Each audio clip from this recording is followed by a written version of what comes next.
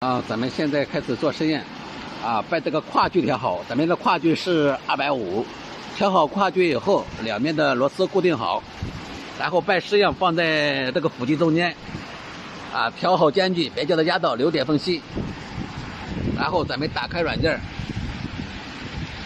打开软件以后选择试验标准，然后咱们选择这个 ASTM C 二零三，点 OK。选好标标准以后，点新建，点击下面的新新建试样信息，然后批号是公司内部的批号，啊，这个是试验的数量，试验人，这个是原始标距，原始标距是根据试验的尺寸来计算的，咱们先填入这个跨距，呃，宽度，然后厚度，点一下回车键。它就把这个面积和这个跨距自动计算出来了。点完以后，咱们点 OK。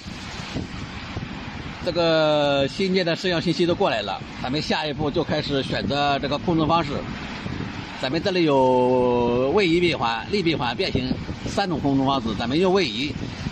啊，在这里输入咱们要求的速度是二点五四。啊，点一下回车。选好速度以后，直接点上面的开始。现在就开始做实验了。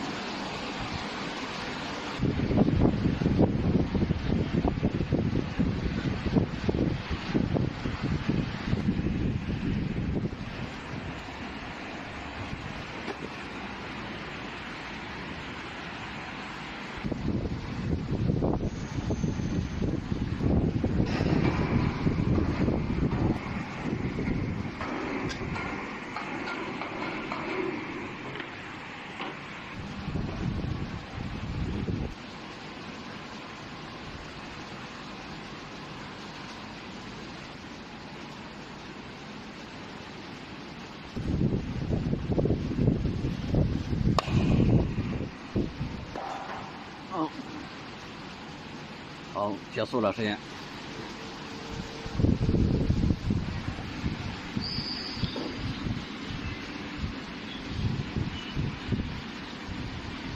实验的数数据出来了，就是试样百分之五十后的应变应力的强度是零点七二，啊，最大力、弯曲强度都有。